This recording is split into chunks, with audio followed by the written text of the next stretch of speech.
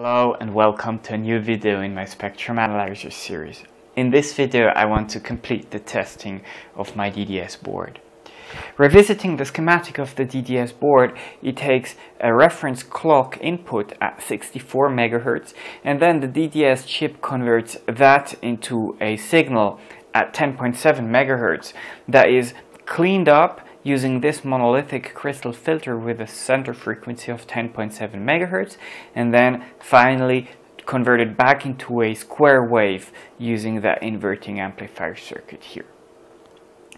In the previous video I've measured the clock input as well as the bare output of the DDS and the signal uh, after cleanup and of course I also measured uh, the output signal of that of that circuit. Now what I want to do in this video is I want to sweep across the passband of this crystal filter. I'll show you what that means and I'll show you my setup. The setup is very similar to what I had last time. I'm still generating the 64 MHz master oscillator signal using that EtherKit breakout board. I have received my own master oscillator PCB, but unfortunately I uh, made a, a, serious mistake there. Th those SMA uh, footprints are far too close together and if I were to populate all of them uh, I wouldn't be able to tighten to fit actually to fit the screws uh, of the the male SMA connector because they're just too close so uh, I just have to redo that one and space them uh, farther apart so that that guy still generates the 64 megahertz signal and that guy still synthesizes a signal an output signal around 7.7 megahertz. That is then filtered by the monolithic crystal filter here at the back. And what I want to do is I want to measure the output power of the resulting square wave. And to achieve that I will connect uh, this output to the logarithmic uh, to the logarithmic detector uh, which is connected again to the ADC as I've done before. So that just allows me to use the spectrum analyzer software to measure the uh, power delivered into the logarithmic amplifier. Now one thing I cannot do is I cannot connect this straight uh, like that and the reason for that is uh, if you look at if you look at the schematic of the DDS, it does uh, the the output is not a real AC. There is a DC offset because the output alternates between zero volts and five volts. So uh, if I so there is a DC offset, and if I were to connect that straight into the the, the logarithmic detector um, at DC, this impedance conversion transformer looks like a short. So I would essentially uh, short out the the output of the DDS board to ground. And of course, uh, I, I shouldn't do that. So uh, the solution to that is very simple. I'll just use one of those guys, which is a mini circuits MCL uh, BLK89. It's a it's a DC block, so essentially it's just a capacitor, and that capacitor provides AC coupling, and uh, that will then remove the DC offset. So I'll connect uh, that guy to here, and then I'm allowed to make that connection over here and this is my setup. Now what I will do with the DDS board is I will command the DDS to a frequency of not exactly 10.7 megahertz, but I will actually be sweeping from somewhere below 10.7 megahertz to somewhere above 10.7 megahertz. And I'll show you with the datasheet of the crystal filter why this is so. The datasheet of the monolithic crystal filter that I'm using comes with this nice graph that's showing what's going on.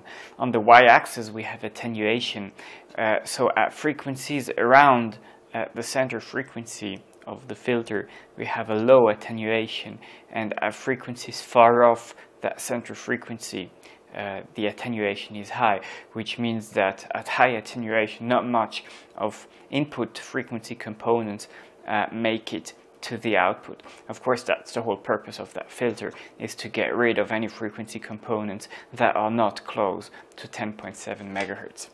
Now, looking at the actual specifications of the filter, we see that uh, we get a maximum insertion loss of uh, of 2 dB, which means that um, the output signal around the center frequency will be no less than 2 dB down compared to the input.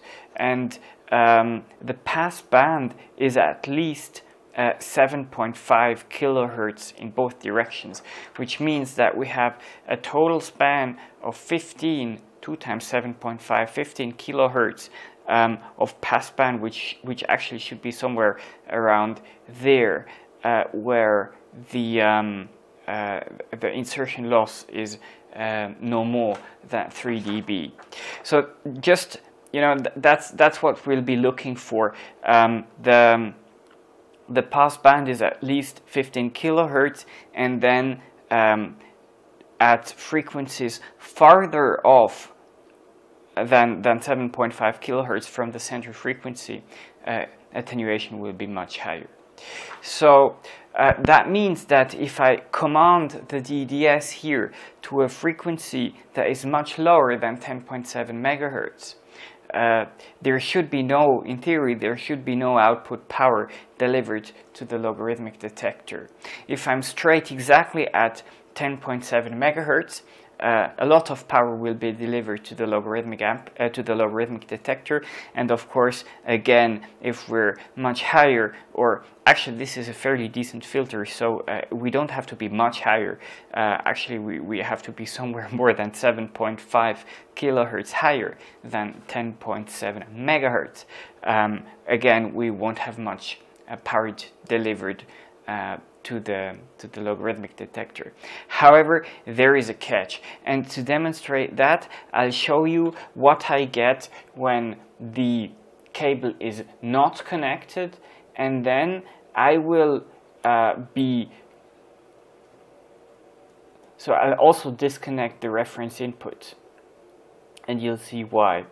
Uh, if so the first measurement will be just like that. And then I will connect this guy and then I will connect uh, the reference input as well. And, and, what's what's so I won't tell you because um, I can make this a little quiz until later uh, what is to be expected. Um, I just tell you that as long as this guy is not connected the DDS chip is not synthesizing um, the, uh, the output signal. And as soon as I connect this, like so, the DDS chip will be sweeping. So you might pause now and think about what, what is to be expected while I set up everything uh, to proceed. Alright, so I hope this will turn out okay with uh, both recordings displayed simultaneously. Here on the, on the computer, I'm sweeping from 10.625 megahertz to 10.775 megahertz, which is a span of 150 kilohertz. Now remember, the filter has a pass band of 15 kilohertz, so this is 10 times more than the pass band. And as in the previous test, uh, I'm using this special test, which means that the DDS is, is sort of like a tracking generator. The DDS is directly outputting the frequency that you can see here. Right, now um, this is with nothing connected, it's already running. So basically this is the, the noise floor of the instrument, somewhere at minus 100 dBm. Of course the input of the logarithmic detector is not terminated, but um, that's about right. Now, as promised, I will first disconnect the master oscillator, which means that the DDS is now not running. So you might, you might ask yourself whether something is going to change or not. Let's see. Right. Isn't that weird? When I saw this first, I was a bit confused, but of course, the answer to what's going on is fairly simple. Looking at the schematic, we get this um, this inverter down here and if this inverter is not driven by any input signal uh, it will and that's the case now because uh, the, uh, the DDS is not running, uh, it will start to self-oscillate due to that feedback loop. And that's exactly what we're seeing is sort of the, the DDS is self, sporadically, spuriously self-oscillating and we get this very weird um, uh, a signal that is that is alternating like crazy because because this guy is just oscillating in an uncontrolled way. Now, that was the catch because I was assuming to see a nice filter curve just like sort of the inversion of what I showed you in the datasheet. But of course, under these conditions, that will not be the case. So now I will connect the reference input of 64 megahertz and what we what we're getting now is right around 10.7 megahertz. Uh, we're saturating the input of the DDS here. And around that, we're getting uh, the same weird crazy oscillations we got before. So I will place two markers. Actually, uh, I've got 10 divisions here and I said before that um, this, the total span here is, is 150 kilohertz. So one division horizontally is 15 kilohertz and we got one, two, three, four, four and a half. So that's four and a half times 15 and that's somewhere around 70. And to get the actual numbers, I will place markers. The, um, the lower bound here is, is 10.661 megahertz and the upper bound is right on uh, 10.730 megahertz. So by subtraction, that's probably very close to, to 70 kilohertz indeed. So uh, what seems to be working is we, we, we sort of, where the filter is supposed to uh, not attenuate, we're saturating the logarithmic detector, and when the filter is actually attenuating uh, the DDS signal, uh, it doesn't have any output signal, which means that uh, the, the square circuit is oscillating.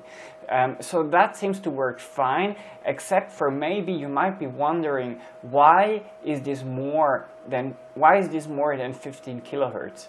I said before that the pass band was 15 kilohertz and that's 70 kilohertz. So again, uh, if you're into quizzes, you might pause here and think about that.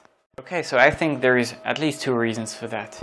The first one is if we if we look at the datasheet of the crystal filter again, we see that the the passband bandwidth, the, the 3 dB bandwidth of the passband is at least uh, plus or minus 7.5 kilohertz. So it's a minimum figure. It's at least 15 kilohertz of span, but it could be more. And in our case, we seem to be observing more. But nobody is going to complain if it is more because it's a minimum figure in the datasheet. You can use this figure to make sure that uh, your desired signal, the signal of a desired bandwidth makes it through the filter. And in this case, the bandwidth um, should be no more than 15 kilohertz uh, according to this specification. Then again, if we look at the stop band uh, bandwidth, we see that at plus or minus 25 kilohertz, so 50 kilohertz at least, we should be 18 dB down. And of course, this gradually increases uh, for frequencies further off the center frequency. Uh, again, this, this, I think this graph demonstrates this nicely because uh, somewhere um, when you're exceeding the pass bandwidth here, um, you, you get that, that filter uh, skirt here that is rising in attenuation, but it's doing so gradually. And then you get, of course, the farther off you are, the more attenuation you have. Um, and that is one reason I think we can be off more than uh, more than 15 kilohertz. But if we look, and we've measured sort of 70 kilohertz apparently, so that would be even uh, farther off uh, than those 18 dB down. So there is some extra effect because that, that alone doesn't explain it. And in fact, if we look at the schematic, uh, what we have here is, uh, I, so I drew here some sort of generic um, uh, symbol here, but what this actually is, is it is an inverter, but this inverter has a, has a CMOS push-pull output stage, which means that actually, uh, because this is AC coupled, it will uh, center around half rail and then uh, if the, the excursion at the input is small enough, it will not act as a squaring circuit, but it will in fact act as sort of a linear amplifier. Um, there is an application note on that uh, that I might link in if I manage to find it. So even if we're not uh, hitting, if we're not um, squaring up the signal nicely because it is too low in amplitude, we're still amplifying it sufficiently uh, for the logarithmic detector to saturate. Uh, I think those are the two effects that are of importance here. Uh, if you see something else or generally have something else to comment, please do so down below and I say thank you for watching.